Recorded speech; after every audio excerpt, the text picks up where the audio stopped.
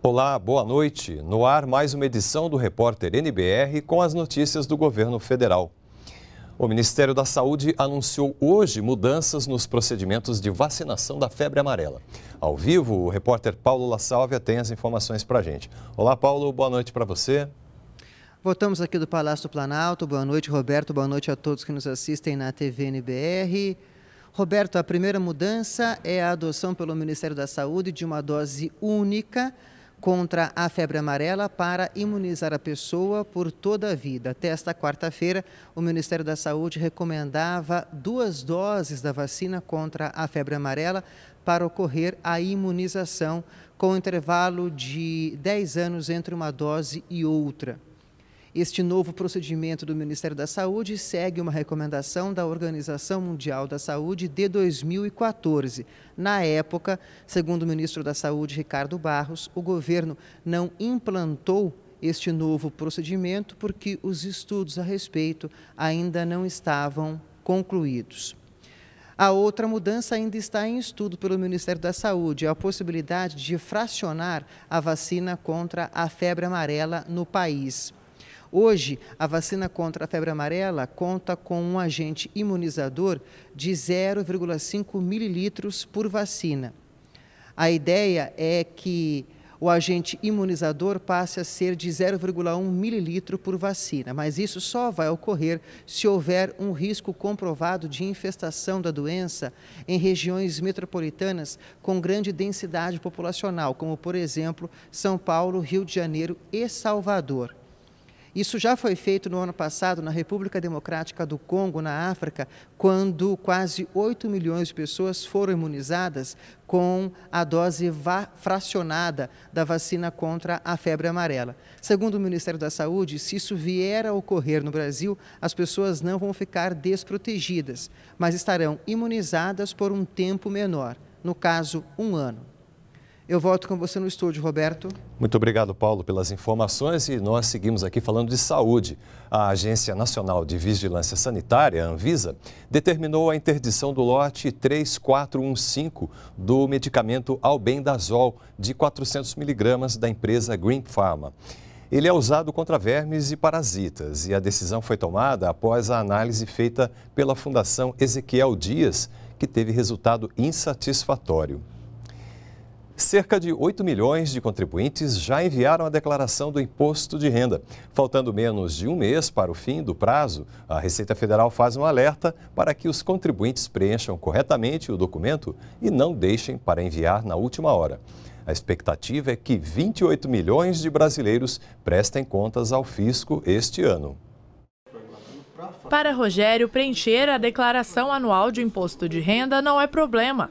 O brasiliense faz sozinho a dele e da esposa. Me organizo durante um ano. Normalmente vou guardando todas as minhas notas fiscais numa pastinha.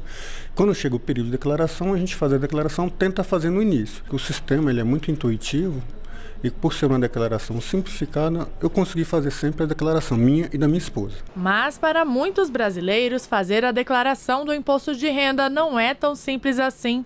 A contadora Sandra dá algumas dicas para os contribuintes evitarem erros que possam levar à malha fina. Sempre ter cuidado com a documentação, separar essa documentação e mantê-la por cinco anos e também conferir a declaração antes de enviar.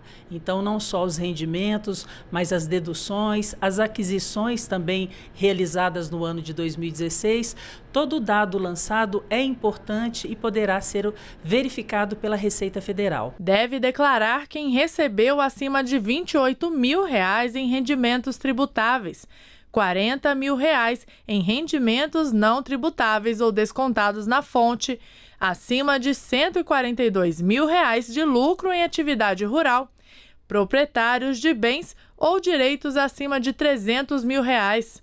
Entre as novidades deste ano estão a obrigatoriedade de informar o CPF de dependentes com 12 anos de idade e o envio da declaração pelo mesmo programa de preenchimento. Até o dia 28 de abril, a expectativa da Receita Federal é receber 28 milhões de declarações e para não ter problemas com o leão, a Receita recomenda que o contribuinte não deixe para a última hora. O comportamento do contribuinte deste ano tem sido o mesmo dos anos anteriores.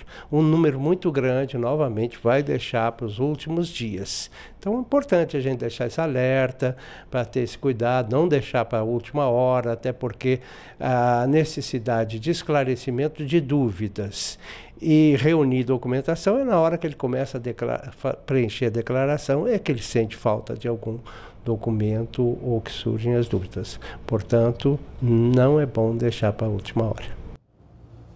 O prazo para os empregadores domésticos realizarem o pagamento do documento de arrecadação do E-Social referente a março termina na próxima sexta-feira, dia 7 de abril.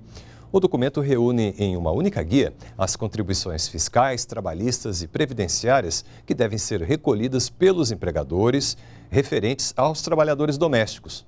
Para a emissão da guia, o empregador deve acessar a página do E-Social na internet. A zona portuária do Rio de Janeiro passa por um processo de revitalização. No local será construído o primeiro museu da Marinha Brasileira. Nós vamos conhecer a novidade na reportagem de Natália Melo. Na zona de portos do Rio de Janeiro, área banhada pela Baía de Guanabara e carregada de história, o que não falta é opção cultural. O local, que acompanhou o nascimento e o desenvolvimento da cidade, agora vai ganhar mais uma atração o primeiro museu marítimo do país. Nós pretendemos que esse museu é, apresente para a população do Brasil, para o povo brasileiro, é, toda a história da marinha mercante, da área marítima brasileira, que é muito rica, que é muito importante para o país. Existe um acervo da marinha precioso, de coleções fantásticas, cartografia, modelos navais, arqueologia subaquática e é uma oportunidade de expor esse acervo. É aqui onde fica esse pier que o Museu Marítimo vai funcionar.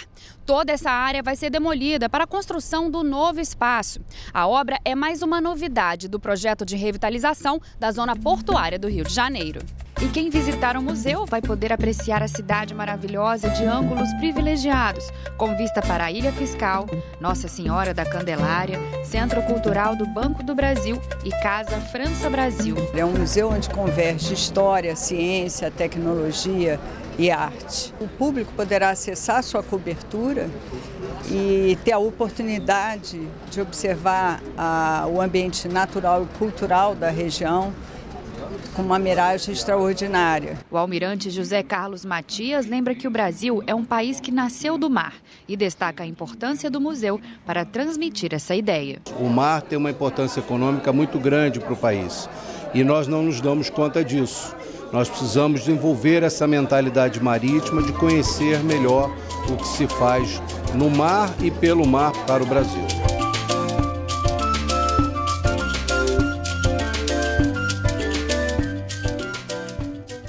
Nós ficamos por aqui e podemos voltar a qualquer momento com mais informações ou às 8 da noite na próxima edição do Repórter NBR. Uma boa noite para você. Continue com a gente aqui na NBR, a TV do Governo Federal.